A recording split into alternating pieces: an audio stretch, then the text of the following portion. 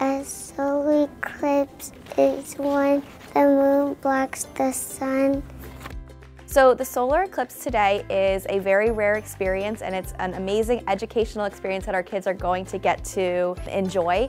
So they all have glasses that were purchased for them where they are going to get to actually look at the solar eclipse and witness it themselves which typically you wouldn't be able to look at the sun during this because it could be very damaging to your eyesight.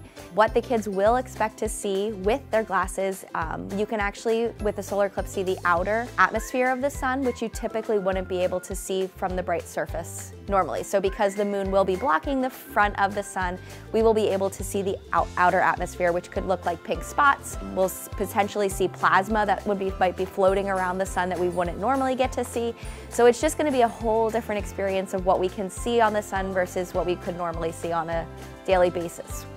I'm very excited about it, so I'm hoping that my excitement and energy will um, rub off onto them if, it, if they aren't ready, but I do think it's going to be a very exciting opportunity. My favorite part was that I got to see the moon covering the sun. Right now it isn't completely dark, but soon it'll start to get really dark. Yeah, I saw the clouds moving and I saw the moon covering over the sun. It was really cool. So this is just one of those things that we have a natural phenomena happening right in front of us and to build upon the natural learning of it is so exciting.